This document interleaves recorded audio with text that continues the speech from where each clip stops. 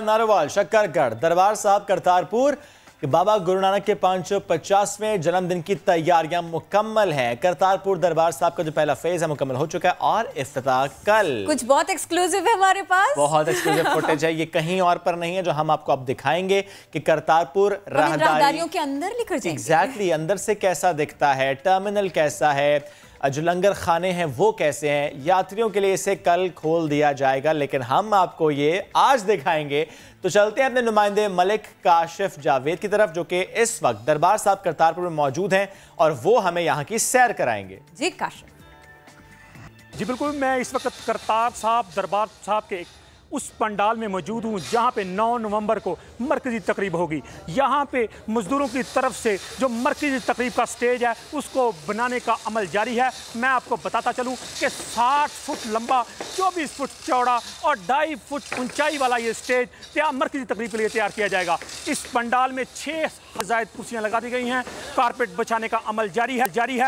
اس حال کو فلی add condition بنایا گیا ہے۔ مزید میں آپ کو بتاتا چلوں کہ جو وعدہ وزیر اعظم پاکستان نے پوری سکھ کمیونٹی کے ساتھ کیا تھا، وہ نو نومبر کو وعدہ اپنے پایا تکمیل کو پہنچنے کے لیے تیار ہے۔ مزید آپ کو بتاتا چلوں کہ چونکہ انتظامیہ کی طرف سے محکمہ موسم نے یہ بتایا ہے کہ آٹھ اور نو نومبر کو بارش ہونے کا خدشہ ہے، جس کو مد نظر رکھتے ہوئے انتظامیہ نے اس ہال کو فلی واٹر پروف بنایا ہے تاکہ جو تقریب پوری دنیا کی سکھ کمیونٹی کے دلوں کی دھڑکن ہے، وہ اس تقریب کو دیکھ رہے ہیں، وہ بارش کی نظر نہ ہو سکے۔ کزی تقریب ہوگی یہاں اور اس سے متعلق یہ آپ کو کچھ ایکسکلوزیو مناظر ہم آپ کو دکھا رہے ہیں کہ جب بسز میں سکھ یاتری یہاں پر پہنچیں گے تو یہ روڈ جس سے بس آئے گی اور اندر کے کیا معاملات ہیں وہ بھی ہم آپ کو دکھا رہے ہیں۔ کہ ان کا استقبال کے بعد ان کے جی۔ آرام کا کس طریقے سے خیال رکھا جائے گا؟ سیکیورٹی کس طرح سے انشور کی جائے گی؟ ان کے آرام کرنے کے لیے کیسے مقامات بنائے گئے ہیں؟ اور کھانا پینا اس سب کے لیے بھی جو انتظامات ہیں جو اہتمام کیا جا رہا ہے۔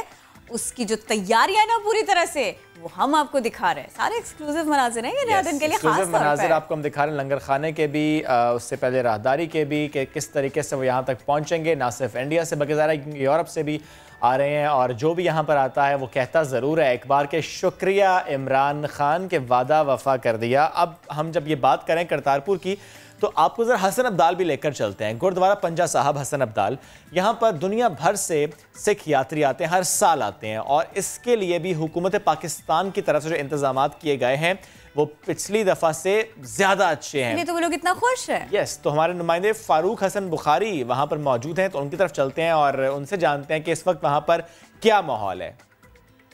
جی، اس وقت میں گردوارہ پنجا صاحب حسن عبدال کے اندر موجود ہوں۔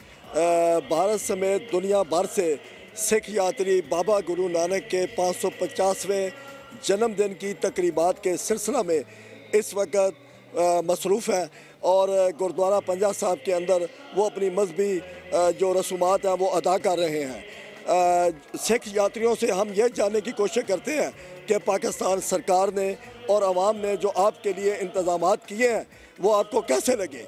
پاکستان کی سرکار نے جو انتظام کیے ہیں، وہ سانوں بہت ودیا لگے ہیں اور بہت اچھے لگے ہیں۔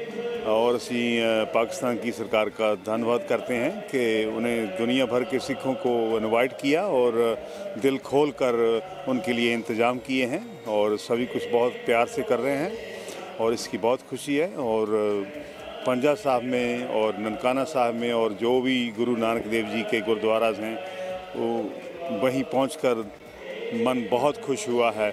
پاکستان کے جو وزیر اعظم ہیں، عمران خان ان کو آپ کس نظر سے دیکھتے ہیں؟ عمران خان نے دنیا بھر کے سکھوں کا دل جیت لیا ہے۔ انہوں نے کرتارپور کا جو لانگا کھولا ہے اس کا ہم بہت دھنواد کرتے ہیں۔